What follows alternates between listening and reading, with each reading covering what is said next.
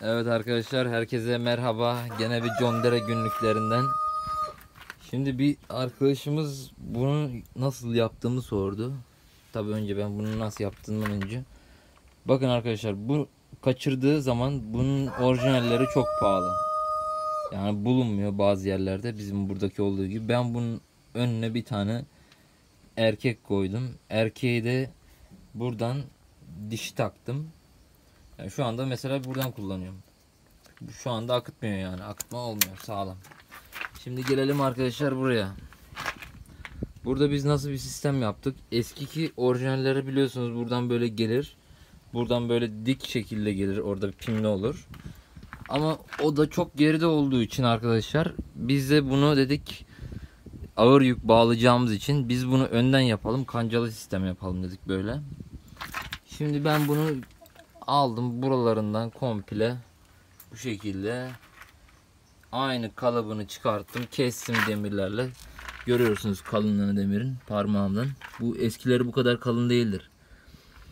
Şimdi bunları yaptım. Ondan sonra bunun içinden şimdi arkadaşlar 1 2 3 4 5 6 7 8 9 10 11 12 13 14 toplamda 14 öndekiyle beraber 15 tane ben bunun içine komplesine içine böyle gördüğünüz gibi kalınlığı nereden baksanız bir, bir santimlik şöyle parmağımdan göstereyim bir santimlik demirlerden kullandım.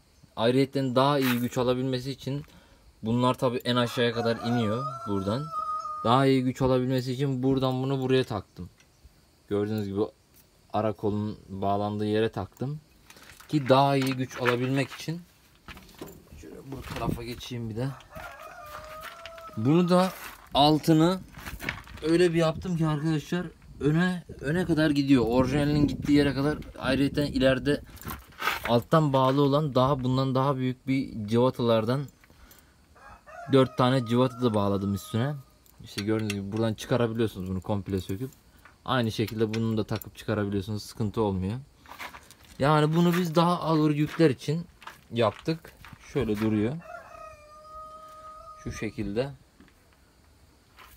Arkadaşlar orijinali çok sağlıklı değil ağır yükler için.